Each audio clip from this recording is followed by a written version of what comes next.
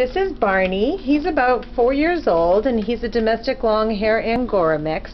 He was also found as a stray in Manchester as a neutered male and he's very friendly, very anxious to come on out and be pet and check out what's going on. He would probably do well in any home. He's pretty laid back and as you can see, camera shy.